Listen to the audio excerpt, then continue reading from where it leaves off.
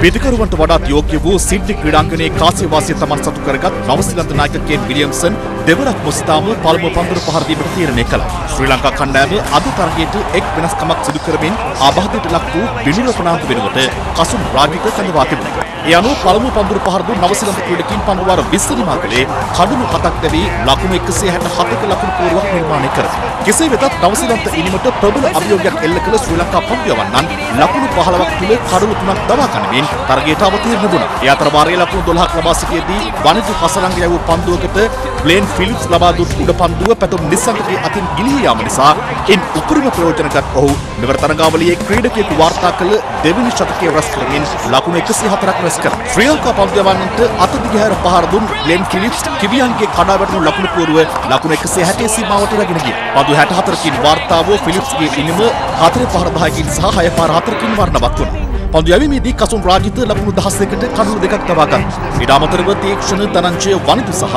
ලහිරු අතරේ එක් කඩුල්ල වැකින් බෙදී ගියා. ලකුණු 168ක ජයග්‍රහ ඉලක්කයක් හඹා යාමට පිටියට පිවිසි ශ්‍රී ලංකා කණ්ඩායමට පන්දු වාර 19යි පන්දු දෙකක් අවසානයේ සියල්ලම දෙවි රැස් කර ගැනීමට හැකි වුණේ ලකුණු 102ක් පමණයි. ශ්‍රී ලංකා ඉනිමේ මුල් කඩුළු හතර ලකුණු 8ක් තුල දවාගත් කිවියන් කල් වේලා ඇතිවම තරගයේ ජයග්‍රහණයට අවශ්‍ය මම්පෙත් ඉවර කරගත්තා.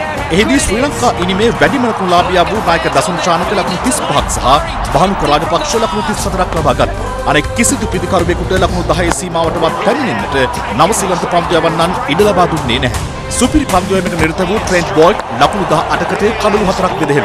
ඊට අමතරව මිචෙල් සැට්නර් සහ ඉෂ් සෝදි අතරේ කඩලු දෙක බැගින් බෙදී ගියා. ශ්‍රී ලංකා කණ්ඩායම සුපිරි 12 දෙනාගේ තරඟ වටේ සහභාගී වෙන මීළඟ තරගය ලබන අඟහරුවාදා ඇෆ්ගනිස්තානය සමග පැවැත්වීමට නියමිතයි.